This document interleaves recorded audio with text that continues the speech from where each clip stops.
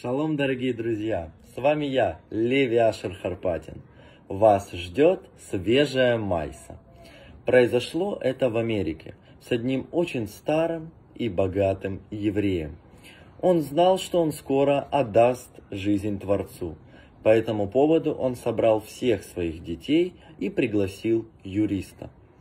Лежа на постели, он сказал своим детям, «Вы – самое ценное, что у меня есть самое родное. Поэтому все, что я заработал, я отдаю вам. И попросил юриста подойти ближе и говорит, а для тебя у меня есть работа. Сейчас я выпишу чек на 4 миллиона долларов. Ты возьмешь его и пойдешь в Ешиву, найдешь хорош Ешивы, то есть директора, и дашь ему этот чек. Юрист говорит, да, конечно, это все, что я могу для вас исполнить. Он говорит, нет, ты обязательно должен сказать этому человеку, что за эти деньги ты продашь мне место в грядущем мире. Юрист говорит, да, конечно, я отправлюсь.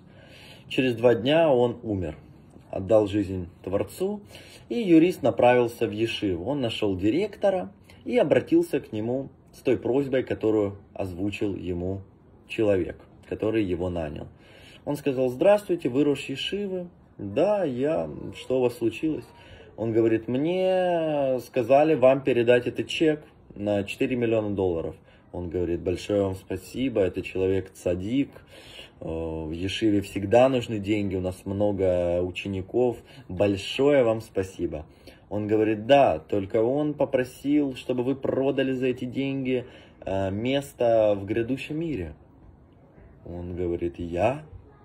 Откуда я знаю, если оно у меня? Это может знать только Всевышний. Это я не могу таким вообще, я не могу это произносить, я не могу этим как-то э, на это влиять. Как это вообще вы такое можете мне говорить? Есть Ашем, это знает только он. Я не могу себе позволить это произносить. Это пустословие. Не нужны мне ваши деньги. Два дня назад, когда этот человек умирал, он позвал детей и сказал им, кое-что на ухо, прошептал. Через еще несколько дней дети идут в Ешиву, говорят, здравствуйте.